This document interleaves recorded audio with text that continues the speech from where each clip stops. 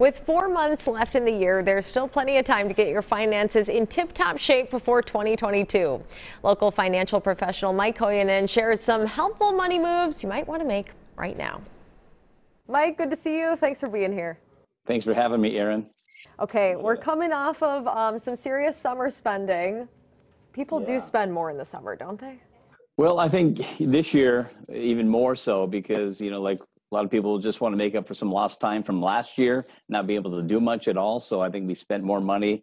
A lot of people have this summer. So you know, with fall here, let's get a you know a new season, a new perspective, a new opportunity with roughly about four months left here, end of the year to finish the year strong, get on track, and let's have a great, uh, good financial 2022. Yeah. Why is fall a, a good time to take a look at the checkbook and take a closer look at our finances? Yeah, well, I have five tips here to kind of look at. You know, you know, there's some key points here at the end of the year to kind of look at. Um, obviously, we want to review your you know financial goals. Uh, this is a good time here to look at short-term and long-term goals, especially when it comes to Roth uh, Roth conversions for those. Um, you know, as we know what your income is for most of the year, uh, it's a good time to look at doing Roth conversions to maximize these tax brackets. Okay, so that's your short-term goal is planning these Roth conversions. But why do you do Roth conversions? Well, um, it's for you know paying your taxes now, so your money grows tax-free. So it's a better tax situation because we're under these tax uh, reform brackets right now that it's supposed to end after 2025, but it could be sooner. So let's take advantage of those while we can. But also for legacy planning, if you want to leave money behind your children uh, Roth money is the best money to leave behind because they'll never pay a time of taxes. And with the Secure Act being passed, I know this is a lot of information, but the Secure Act was passed about a year and a half ago, went into effect. Your kids have a shortened time to get that money out of those IRA and 401ks accounts, and that could cost them a lot of money. Mm-hmm. Um, you also say refreshing your spending strategy is a good idea. How do we how do we do that? What might need refreshing? Well, I think because inflation has hit us so hard this year, you know, it's so much higher. We're we're paying for it more than at the gas pumps. You know, you know, three bucks to over three dollars a gallon, but that's affecting our cost of food, our clothing, our services we're paying for. So um, when we compare what our our budget was last year, our spending was last year, and, and not being able to travel as well. Now a more realistic version of what your spending is. Let's let's do an updated budget to make sure it's lining up. And unfortunately, you might have to cut out some of those those you know frills you know the the coffee runs or some of the other things you're spending your money on because um, that's a big talk when people come to our office is they're spending more money than they were last year. So let's update that uh, budget worksheet. You can get one on my website as well Cool. Yeah, those little luxuries we treated ourselves to when there was nothing else to do. Yeah. yeah. And those free dollars, you know, the, the extra unemployment dollars for those, that those monies ended too. So that's another reason to to readjust it. Absolutely. Um, you say rebalancing your investment plan um, is yeah. something else you could do this fall. And so give us some ideas here. Yeah, well, um, when we look at a year and a half ago when the coronavirus bubble came, it, you know, like the recession, the market lost 34%. And now we, most people, I'm sure most people have recovered from that as long as you hung in there.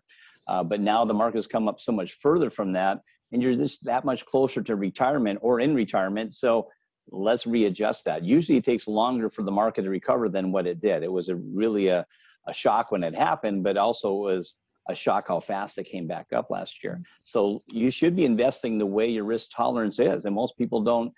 Uh, they don't put two and two together. You shouldn't be investing what your brother-in-law tells you, or your coworker tells you, or your friend tells you. You need to be investing how your risk tolerance tells you. Um, you know, don't invest blindly. You should know what you're you're investing in, and make make sure your investments match your number and your risk tolerance. And even though we're coming off a lot of summer vacations, we might have, you know, holiday trips we want to take or like winter getaways that people are planning. So it's also a good time to, to think about saving too. Yeah, save short term again, long term. So I think saving for each, you know, summer vacation or trip, I think that's important. Um, I think it's so important just to keep those dreams and goals ahead of you. Why are you putting money out of each paycheck into the bank and into your 401k and IRAs? Um, you have to revisit the big dream. I mean, that keeps you focused. Uh, I know a lot of people, they come in here, why are we saving so much? Why are we just living paycheck to paycheck? Because all of our extra money is going to some kind of sort of saving. Uh, revisit why you're doing this. And I, I think once you're on vacation, you understand that, or once you're retired earlier or have that lifestyle you, you attain to have, um, you're going to understand why you do it. But most people can't do it themselves. You have to get with a professional to make sure that you're going to get there on time. And a lot of times we've had people come in here think they had to work two, three, four more years. We can show them you can retire today. And so sometimes it's a saving grace to actually work with a professional that can show them with a plan in place that you can retire sooner. I like that.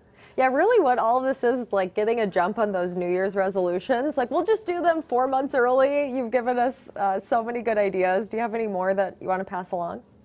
Yeah, uh, this is the end of the year. Well, you have to, well, if you're 72 or older, you have to take out your required minimum distribution. So last year we got a pass because the CARES Act was passed because the market was down and you didn't have to take your RMDs. But if you, no more pass this year. If you don't take out your RMDs, if you're 72 or older, you have a 50% penalty of what you're supposed to take out.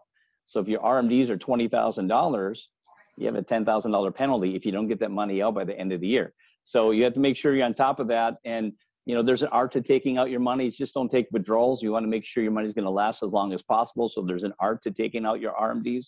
And for those people who don't want the RMDs, but they have to take it, if you're giving to charity, there's a thing called a QCD qualified charitable distribution, well, that money can go directly to charity and you don't have to worry about taking the money out first, pay taxes, and then give to charity, especially if you're not itemizing your taxes.